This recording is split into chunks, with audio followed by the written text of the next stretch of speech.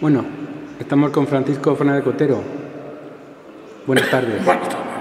Hoy, hoy empieza una inauguración. Hoy es el día de inauguración, sí. Estoy aquí presentando, he expuesto más veces en esta sala, siempre me dado buenos resultados. La gente del pueblo responde bastante bien.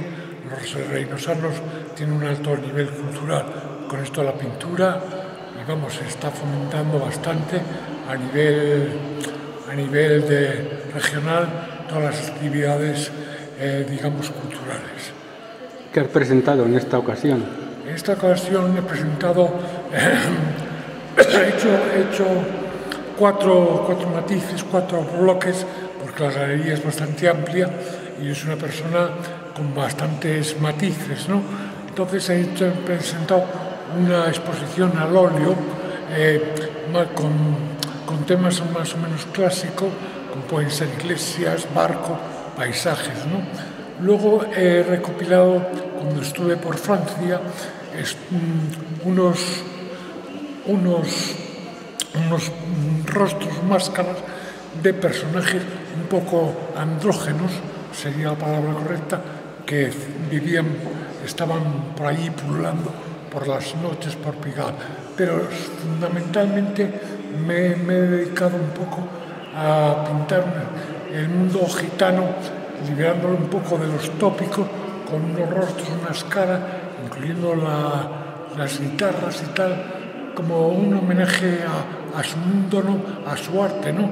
que en el fondo nos han sacado un poco de la España, de la pandereta, el sol, los toros, y han hecho del flamenco y de todo el arte gitano una cuestión como universal, ¿no? es decir, hemos entrado en, en- en el mundo con una cultura totalmente diferente y personal.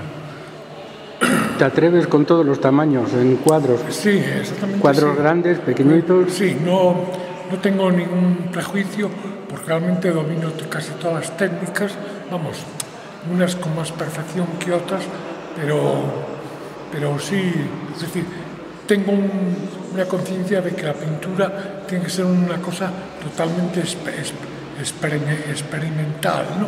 Es decir, como las relaciones con la gente, uno unas veces se relaciona con unos y otros con otros. de- el- todo tiene que ser este mundo como una sensación de, movimiento, de, de no quedarte anclado o estancado en, en un matiz determinado, ¿no?